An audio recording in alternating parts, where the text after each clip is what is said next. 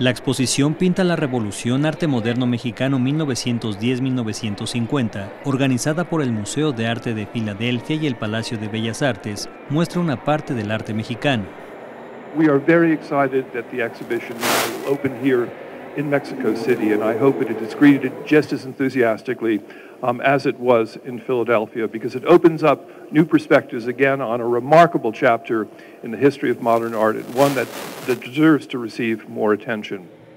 En las piezas se incluyen varios capítulos a veces omitidos, como las representaciones críticas de los artistas ligados al nacionalismo o la obra de los pintores cercanos a la revista contemporánea.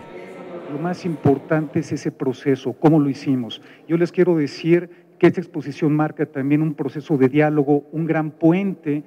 que el Museo del Palacio y el Museo de Filadelfia han establecido y que estoy convencido que en esta exposición se podrá notar con la espléndida investigación de los curadores como es Matthew Afron, como es Renato González Melo, Mar Castro y Daphne Cruz Porcini.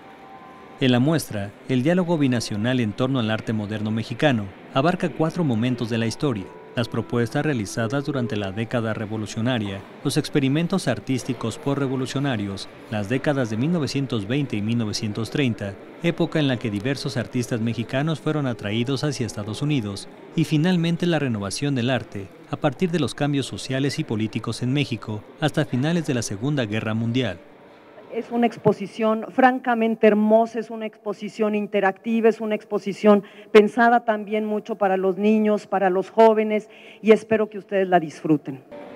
Con información de Manuel Bello y Víctor Barbosa e imágenes de Raúl Monroy, Notimex.